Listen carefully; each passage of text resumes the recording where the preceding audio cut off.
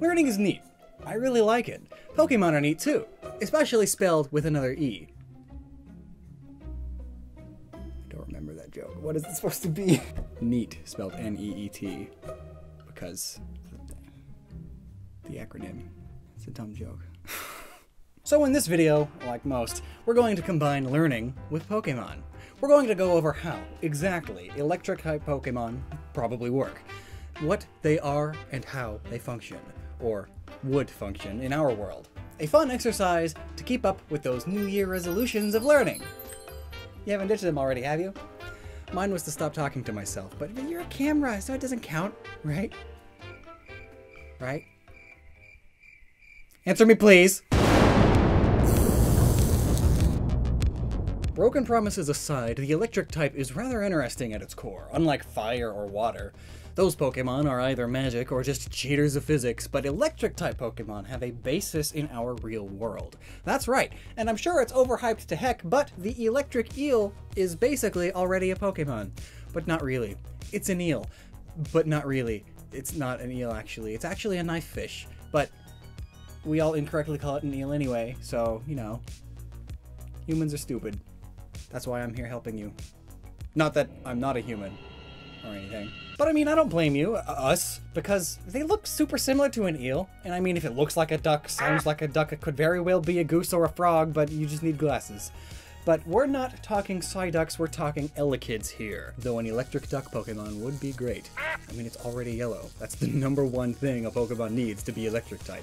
Electric Pokemon can be either yellow and black, or have red and blue on them which are basically magnet colors. And magnets are basically electricity, right? Well, actually, yes. In fact, magnets are the driving force behind electricity. Think of a power generator. It works because its metal wires spun around a magnet to create charge. This is the reason so many magnetic Pokemon are electric type, or at the very least, know electric moves. Also Rotom, it's motor backwards. And what is a motor but a reverse generator? Magnetism is one of the forces of nature. Without magnetic fields, things couldn't be charged. And this not only includes our machines, but even us, to an extent. But the Pokemon world is a magical world. You don't need to apply science, you can simply just say that these magical creatures generate electricity with magic because they're magical creatures. And yeah, you're right, so you're done here. Leave. Meanwhile, we're gonna have some fun. So, how would an electric type Pokemon really generate electricity? Well, let's first look at the classic example, our friend the knife fish, which is also known as the electric eel. Oh, there he is now, swimming, or doing whatever the stock footage we could find of him is doing. Nice. Now, with my magical editing powers, I'm going to point out this part. That's the tail.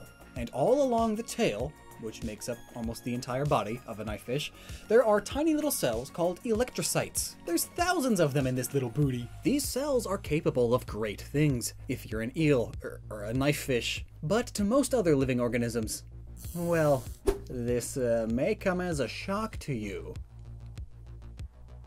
But they aren't the best news for your survival. These cells are able to produce charge, or more realistically, they are able to change their charge from negative to positive. This is unique, you see. Technically, all creatures, including humans, have these things called ions in their bodies. In fact, every cell of our being has ions. They are pretty important stuff. Ions are able to carry charge. That's because an ion is a molecule that has either gained or lost an electron. For an easy example of an ion, let's take hydrogen. It's got one electron and one proton. Now, because of how physics works, it either wants to lose its electron or find a buddy for it, because its lowest electron shell needs two electrons. So when it gives the electron to, say, oxygen, it becomes slightly charged. Thankfully now, they share the electrons, so hydrogen gets to sometimes have two, although oxygen is kind of a bully, so it gets the electrons more of the time, but hey, they're sharing. And to get too deep into this would be a whole extra video. So, uh, Moving on, when the hydrogen atom has zero electrons, it's positively charged, as it's got more protons. And then when it does have the two electrons, it's negatively charged. This is the basis of charge, the movement and difference of electron balances. Why our cells do this is a whole other topic, but it boils down to, well, Without it, our cells couldn't do a bunch of the stuff they need to do to survive. So yeah, animals and we humans run on electricity. Granted, it's a very, very small amount, but this is why you need to ingest electrolytes. They help us with all this. it says ions right there. But the electric eel, now that thing takes things to a whole other level, similarly to electric Pokemon. Presumably for now. The electric eel's body is filled with those electrocytes, and those all get together and decide that they want to build charge. They do so by moving their electrons around via small channels in their body called ion channels. Each one is only able to produce a minuscule amount of charge, worthless amounts honestly, but there are thousands of them, and together they are able to make a potential difference that has the ability to produce almost 700 volts. Wow, a number that means nothing. You would know that if you've seen our other electricity video, but knowing the voltages alone, that's worthless. But 700 volts with about 1 ampere? Now that's a step in the right direction. Even with both pieces of info, you're sort of at a loss to what it even means, but 700 volts at 1 amp is like getting hit with a weaker stun gun.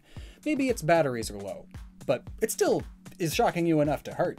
Similar to how Pikachu has shocked Ash a billion times, but you know, it's just a little zap, it's fine. Though these fish are normally zapping prey that's significantly smaller than we are, so to the prey, it's much more lethal. Key notes about our electric knife fish eel friends. One, their electrical organ looks gross. And two, they are severely inefficient at generating electricity. I mean, it takes a bunch of energy to move all those tiny ions across its whole super long body, meaning that it needs to use its electricity sparingly, only using exactly what it needs to stun its prey or deter predators. And this is where the similarities end between this fish and Pokemon. I mean, they can create insane amounts of electricity from a diet of berries, or even just regular old ketchup. Let's be truthful. Ketchup is just a mashed tomato berry. But anyway, while a lot of electric type Pokemon likely generate their power in a similar method, just at a much higher scale, not all electric type Pokemon make power this way. In fact, a lot of Pokedex entries mention how they do it individually, and quite a few of them state that it's static electricity. So how does that work? Well, similar to the eel, it's based off of electric potential differences in the object. One is positive and one is negative. Like a battery, there's the positive and the negative side. So they rush around. And once they touch, the electrons rush over to the positive side, creating the flash of energy. All things in the world love to be balanced, except my diet. Get those brains out of here. Fun fact, did you know that this is the main way we weld metal together? Arc welding is using electrical potentials in the metal and the rod to create intense heat, which is so hot that it near instantly melts the metal that they are using to glue the pieces together. So really, some of these Pokemon should be able to fuse other Pokemon to each other just by touch. And that brings up a question. When attacking, the energy is still flowing through both Pokemon, and it only hurts one of them. How is the electric Pokemon undamaged? In my welding example, they have a rod that is almost like a sacrificial rod that slowly decays as the weld is continued. Some even just using that rod as the metal glue. So shouldn't some Pokemon be losing fingers or other body parts due to the intense heat? And they can't all just be non-conducting parts because they have to conduct the electricity out of themselves and into the other. Well, let's take another look at the electric eel again. This poor electric eel actually has no real immunity to electricity. It's their ability to conduct that allows them to shock, and so long as you make a complete circuit, the pain won't fully ensue. You can see videos of people playing around with this concept. As long as they don't let go of each other, nobody is hurt. The electricity is flowing right through them, no issue. This is sort of what the eel does. It curves its body and uses the water between to form a complete circuit. But if you take it out of the water, that charge has nowhere to go, as air is a pretty good resistor. So out of the water, the energy is trapped in the eel. But this doesn't mean that in the water the eels are always fine either. They accidentally shock themselves all the time, similar to the people letting go. If the circuit gets broken before the electricity finishes, well, it hurts! If the eel doesn't bend enough or it gets bumped, welcome to Pain City. In fact, they purposefully bend themselves in a way that causes the electricity to avoid their heart altogether just in case they mess up. Unlike the eel, humans don't really have anything to direct charge, so if we get hit with charge like this, the energy goes wild until it finds a way out, and then it all goes that way quickly. You can see this in slow motion lightning. Lightning comes down from the sky in so many directions, everywhere, and then once it finds a single path to go down, it all goes. Basically, when getting shocked, this is happening, but in your body. But again, these eels don't have the massive amounts of power that Pokemon have. So how would a Pokemon be safe from the charge? Well, in some cases it's easy. Some of them use their tendrils to shock their prey, like Electivire. In fact, I imagine that it uses its tendrils as a half circuit, one being positive, one being negative. I mean, they are even colored red and blue, and that's also exactly what the Pokedex says. All right. Educated guess, I guess. And it's right. Huh. But loads of electric Pokemon use their electrical prowess to direct the current through the air, creating thunderbolts, and then there's some that use the negative charge of the Earth to pull positive charge from the atmosphere, like a lightning rod, which is actually quite possible, and it's actually based off of science. Not just mumbo jumbo Game Freak magic. You see, the way thunderclouds are able to strike the Earth with lightning is because the Earth is generally negatively charged. Now, fun fact time! When you think of electricity, you tend to think of it moving really, really fast, like lightning, you know? It's there to there, it's super instant. You tend to think that it's the positive energy just down into the negative super instantly, but that's wrong. Electricity is pretty slow, actually. Think of a power cable as a tube filled with marbles, and each marble is an electron. Every time you put a marble in the positive side, the marble at the other end immediately comes out. It's seemingly fast. I mean, you just flicked the light switch on and the bulb is on immediately. But it actually takes a while for the electron marble you just put in to get all the way to the other side of the tube. It just seems instant because, you know, it's always there. You put one in, one comes out right away. Boy, that's not the same one you put in. Now back to thunderclouds. The Earth is negative, and the air is a great insulator, especially compared to water. However, every insulator has a breaking point, which is why lightning strikes tend to be uh, immensely powerful. They need to be. Some have up to 10 coulombs of energy, or a gigajoule, which is a lot. Trust me. So those moves that Pokemon use that state 10,000 volts got nothing on Mother Nature. One single bolt of lightning could have up to a billion volts of energy, and up to 200,000 amps. Most strikes aren't that high, but still, that's possible. That's in the scale of what lightning can be. It's ridiculous and all this energy is just sitting up there in the clouds. Egad! So it's not all that ridiculous to have a Pokemon be able to draw the energy from the surrounding clouds. If they are all able to charge themselves to be the opposite, so negative for the most part, then they would become almost like a huge beacon, and it draws the energy down upon itself. The same could be said of the opponent Pokemon you're battling. Perhaps an electric type Pokemon is able to negatively charge the opponent, essentially turning them into a lightning rod temporarily. But since the opponent isn't inherently electric type, well, it hurts them a lot more than when it does hit an electric type. So, it seems that we sort of understand how these electric types are capable of creating energy, or more realistically, move the charge of tiny ions to create large sums of electrical difference. Clearly, though, because of the levels they're capable of doing it at, there has to be some level of magic going on. But the best magic is at least mostly explainable by science. But so far, we're just sort of talking generic electric type Pokemon, the bulk of them, the vast majority of them. But what about some of the more special Pokemon? Like Pikachu. The most special Pokemon of all.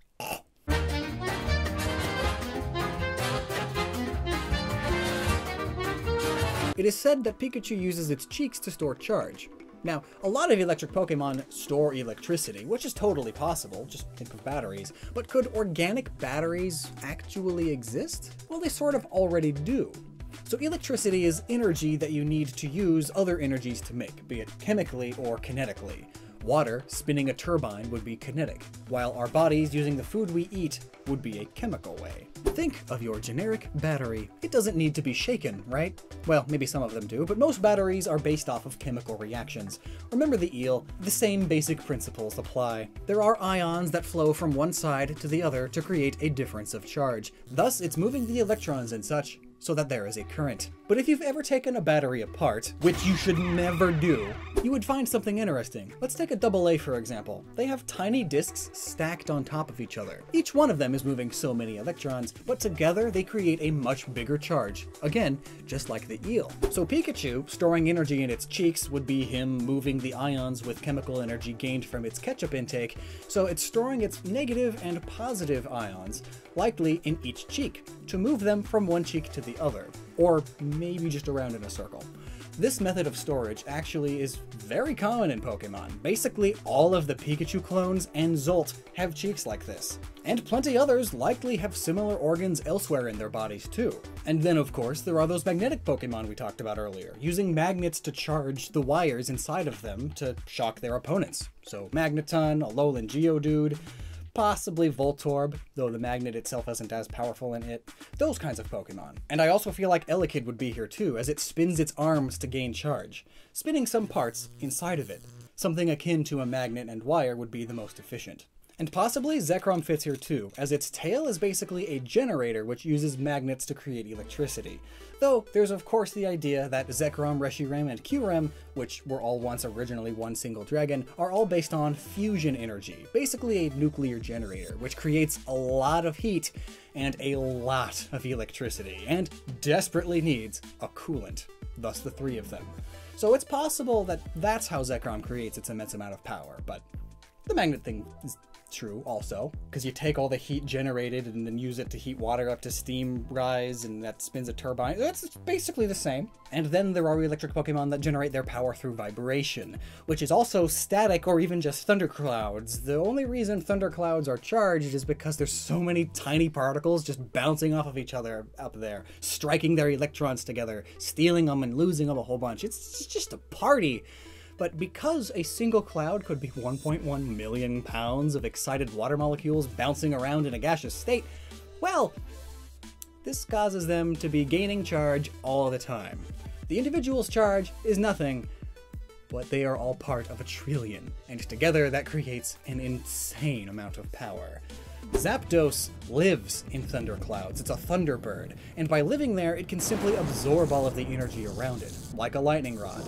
Except it's in the clouds, and it's a bird that is able to also freely control thunderclouds, meaning, of course, that it is one of the stronger electric type Pokemon, fitting of a legendary. Almost every electric Pokemon is capable of calling down the power of the clouds with moves like Thunder, but not all of them might be able to easily use that power simply by existing, or even direct it into themselves for storage rather than just redirecting it into the opponent immediately.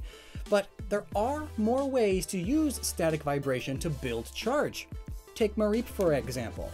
I'm sure it just uses the static of its wool to generate charge. All those fibers rubbing up against each other constantly causes the electrons to move around. Compared to most other fibers, especially synthetic ones, wool has a lot of water content. About a sixth of it is water, which helps in the electron moving and charge storage, which is why when wearing a wool sweater, it's, it's so easy to just shock people with static electricity. And this is potentially similar to the idea that many of the fast electric Pokemon use. Their muscles move so fast that they are able to create this extra energy, extra friction with themselves. You see those crank and shake phone chargers all the time. Same idea. And they're likely also using electricity to contract their muscles faster than normal. These Pokemon are hybrids. But then, there are some electric type Pokemon that can't actually generate their own electricity whatsoever. And they just have those organic batteries to store it when it happens to come their way. You know, like Joltik, who, like a tick, needs to absorb static electricity from other Pokemon or people even. And Togedemaru isn't even able to actively steal it. Instead, it needs to be hit with electricity to power itself up, though it is literally a lightning rod, which helps. The other odd ones are Helioptile, who uses solar panels to gain its energy, basically photosynthesis. So, like that one salamander. Ambystoma maculatum. Speaking of which, uh, you would have to eat 42 million calories to produce one gigajoule. You know, one lightning strike. It's a good thing Pokemon are much more efficient than that with their power generation. I mean, suspension of disbelief can only go so far. We're talking about Pokemon and suspension of disbelief. Hmm. Never stop using your noggin.